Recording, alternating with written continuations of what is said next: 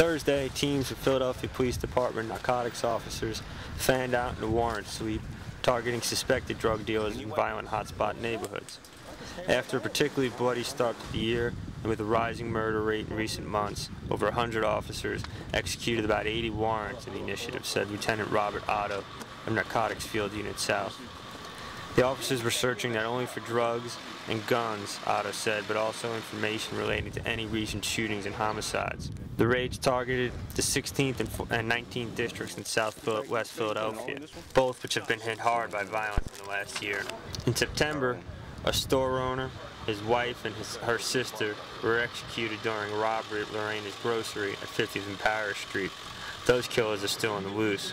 One hope of Thursday's raids, Otto said, was that officers could dig up fresh information in that five-month-old investigation. At 64th and Callowhill, neighbors said they were glad to see police raid what they described as a long-time drug house and a plague to the street.